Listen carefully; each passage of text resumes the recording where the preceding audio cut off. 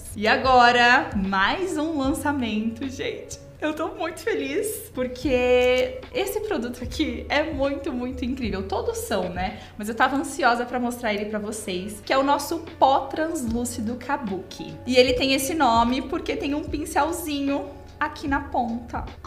Vou abrir um novo aqui para mostrar para vocês como que vem as cerdas, tá? Então, você precisa tirar a tampa, abaixar essa parte transparente e aí tirar essa proteção das cerdas. Isso daqui, pode eliminar, não vai precisar usar mais. E aí, toda vez que você for usar, é só fazer isso e depois puxar para cima de novo para proteger as cerdas. Temos três tons, o 1, o 2 e o 3, mas Nina, só três cores? Calma, esse é um pó translúcido, então ele não adiciona nenhuma cobertura na pele. Por isso, três tons é a quantidade ideal para peles claras, para peles médias e para peles escuras. Esse pó é extremamente fininho, ele é muito fino, gente. E por conta da embalagem do pincelzinho, ele é perfeito para você levar na sua bolsa, na necessaire e aplicar ao longo do dia e retocar. É um pó de retoque sem precisar levar aquele pó solto que faz a maior bagunça, a maior sujeira. Para sair produto, você não precisa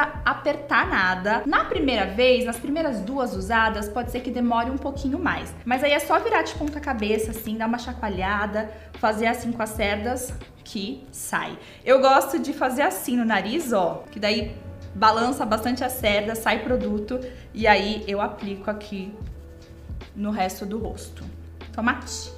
Tomate. Tomate. Tomate. E assim, ele mal lançou e já tem gente reclamando da quantidade que vem. Realmente não vem muito produto, é 3,5 gramas, mas ele é um pó para você finalizar sua maquiagem e retocar, né? Reaplicar ao longo do dia, levar na bolsa necessário, como eu falei. Não é aquele pó para você fazer baking e passar muito, muito produto, tá? Nina, mas a gente quer esse pó. Eu achei que você ia lançar esse tipo de pó. Calma. Ah, e o legal é que você consegue abrir aqui, ó, essa parte de baixo e encher com mais pó conforme ele for acabando.